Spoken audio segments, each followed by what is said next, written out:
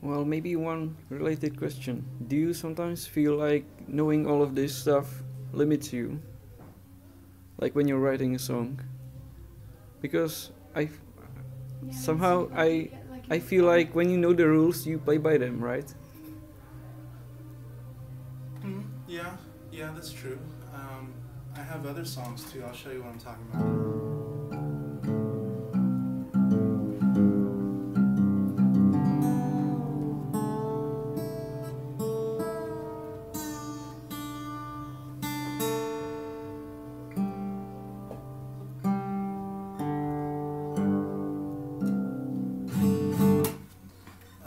Here's one that I wrote that kind of goes against my rules.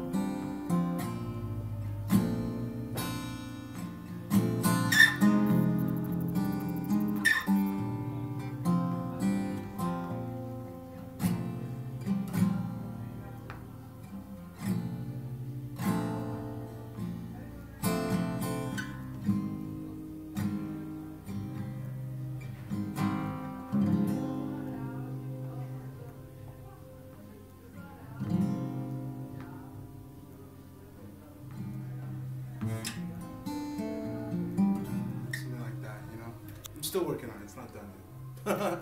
but yeah, that kind of goes against um, the rules, in my opinion. I i what I feel like are rules for me in terms of music. I like to stick to the major scale or the minor scale, but that's kind of weird. It changes keys, and there's a lot of dissonance and some weird modulation in there. Um, but I thought of that stuff in terms of analysis, in terms of calling it what I just called it, way after I wrote it. I was just in it. Was really in it, and then in the midst of it, and then at the end, I said, okay, what what is happening there? And I kind of analyzed it after I after I played it.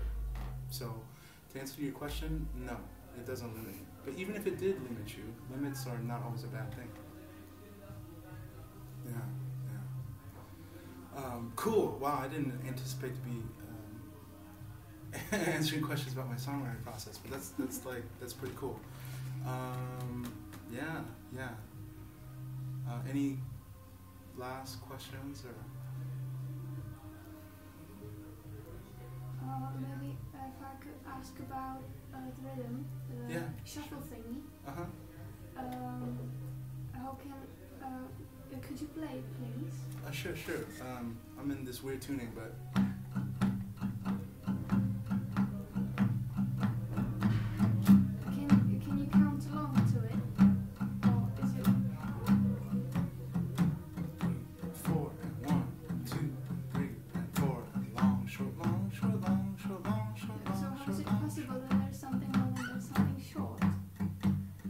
How's it possible? Well, you know, you're a little kid and you're skipping along.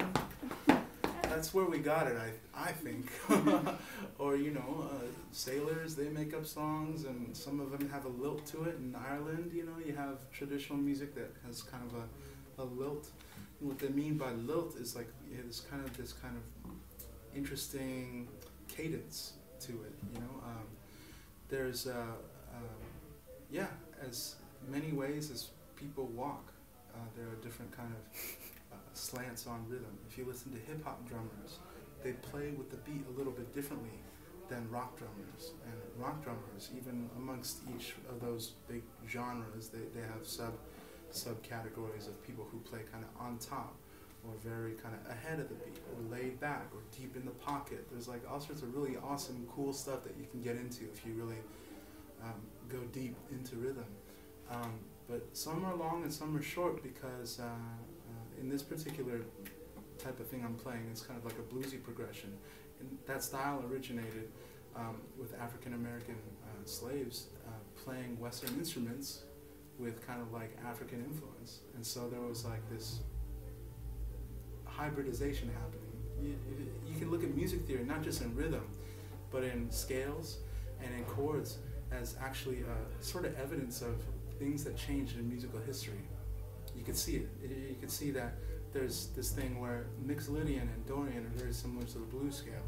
And at some point, they all start to intermingle. And these days, when you listen to contemporary blues music, you hear a lot of uh, switching between different modes.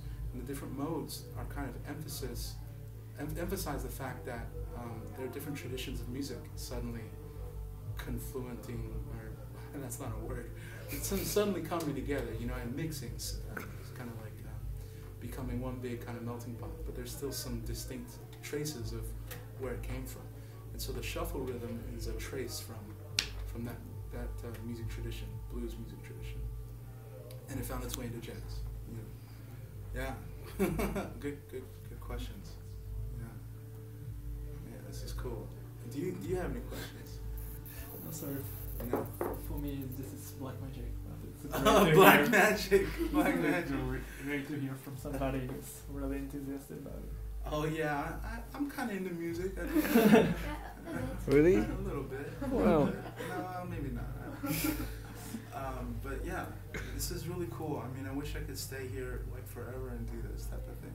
Um, but um, this is a gift. I think that we're all here and this, you guys are hearing me talk about the stuff that I care about. This is like really cool for me. I, I appreciate you guys being here and listening and being so respectful. And uh, yeah, it's a shame more of the people who are RSVP couldn't make it, but you know, um, I understand things come up. Um, but hopefully this will be valuable uh, when we find a way to put it on YouTube. Um, I think I think we can call it a night, huh? Yeah. Yeah. Okay. Well, uh, what's uh, dobro noc, right? I don't know what you just said, but Thank good, you. good. Thank you. Okay. Okay. Yeah. All right. Well, yeah. Thank you guys so much. Yeah, thanks for coming. Of course. Of course.